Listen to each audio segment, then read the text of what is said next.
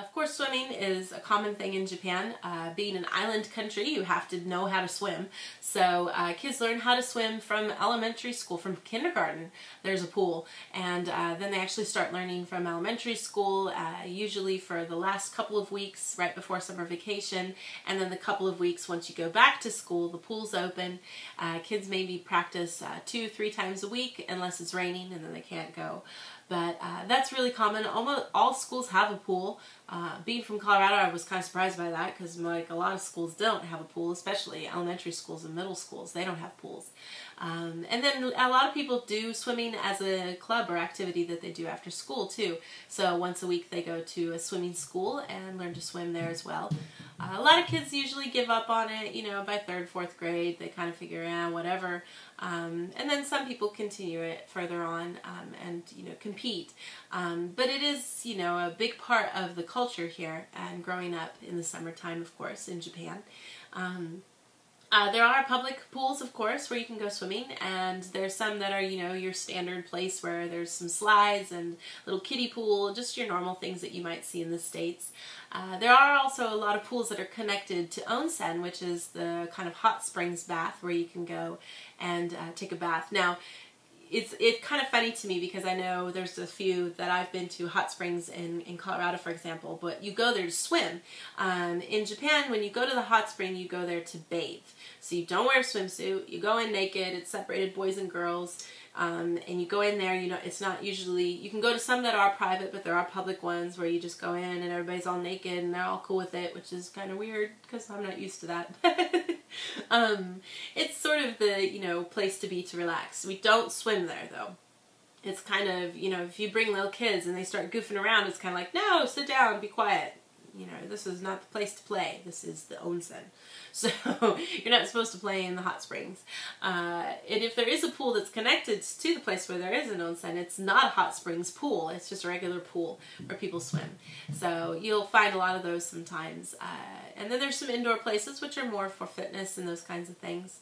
Uh, so you can find a place to swim all year round if you want to go someplace that's indoors.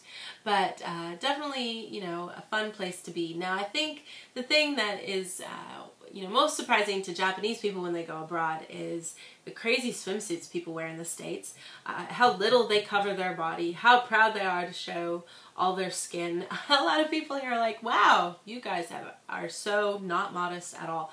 Um, so that's shocking that way. I think if you come here, you'd be surprised by how covered up everybody is.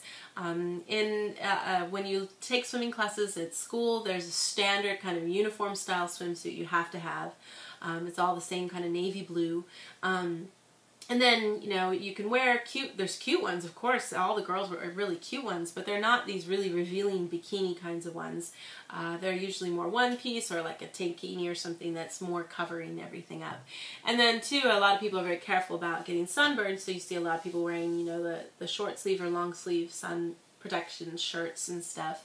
Um, when, older women will wear, you know, more things that cover everything up to keep uh, away from stuff. Everybody has to wear a swimming cap, which is really weird because I'm not used to wearing those. We don't even care about that kind of thing in the States, which I guess in terms of the hygiene and cleanliness of the pool is kind of gross, but we just go in with our hair. So uh, everybody has to have a cap on if you're going to be swimming though.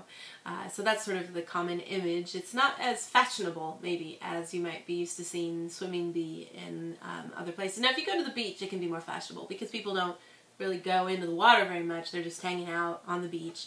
So looking cuter is more the goal, not practicality. So, um, but one thing I'm kind of surprised by always being here is that you can't have a tattoo and go to the pool, which is strange to me. Uh, tattoos in general in Japan are kind of looked on as being part of the Yakuza kind of, you know, Japanese mafia sort of image. And I guess they just can't get away from that, despite the fact that tattoos have evolved and are for other people too. Uh, you can't have any tattoos and be allowed in the pool. Um, I, I, was confused by it. I don't know if it's really a question of hygiene or just because they think it scares the crap out of everybody when they see one. So I think it's more the scaring thing. So um, I have one and I have to cover it up when I go swimming and uh, you know you don't want people to know you have it because uh, then they might kick you out. So um, that's kind of a thing to consider if you happen to be from the States. I don't think, I, I always try to tell my husband, I don't think they'll get on my case about it because I'm a foreigner, but um, you never know what they might choose to say depending on the rules of the pool. So uh, something to kind of keep in mind if you happen to be sporting some serious ink and you want to go swimming when you're in Japan, you might run into a little problem with that. But um, I definitely love going swimming. I spent every day that I had during summer vacation at the pool. Uh, you know, fun to swim, fun to play, fun to tan. Tanning is not part of the whole thing here. The goal is to not tan. Uh, you try desperately to cover with like lotions and anything you can so that you don't tan. Little kids, uh, in school, you know, don't bother with all that, and so they get you know beautiful, beautiful brown color. Um, they, uh, my daughter, you know, is so tan it's kind of ridiculous. She looks like a whole different person. But um, usually, uh, once you get a little older, people just are trying everything and anything possible to stay white um, which is good because I don't tan. I freckle and turn red and then go back to being white again. So it's nice to be in a place where I don't get criticized for having super, super pale skin. Uh, I kind of fit in here a little better than I did in the States where everybody would call me a ghost. So